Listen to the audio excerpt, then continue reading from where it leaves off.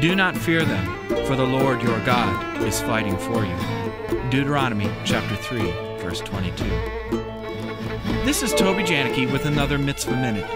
In this week's Torah portion, Moses addresses the children of Israel, encouraging them to take courage as they prepare to enter the land. He reminds them of how the Lord has led them thus far, overcoming every obstacle and vanquishing fierce opponents like Sihon, king of the Amorites, and Og, king of Bashan. He urges the Israelites, Do not fear. The commandment, do not fear, is a command we find repeated frequently throughout the Torah and all the scriptures. In fact, there is over 130 instances in the scriptures where it says, Do not be afraid or fear not. The words do not fear occur four times in this parsha alone. Fear is the opposite of genuine faith. Fear comes from a place of faithlessness. When we have confidence in God, fear is driven out.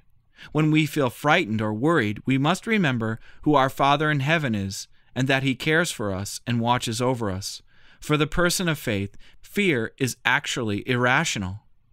As the apostle Paul tells us in Romans chapter 8 and verse 15, for you have not received a spirit of slavery leading to fear again, but you have received a spirit of adoption as sons by which we cry out, Abba, Father.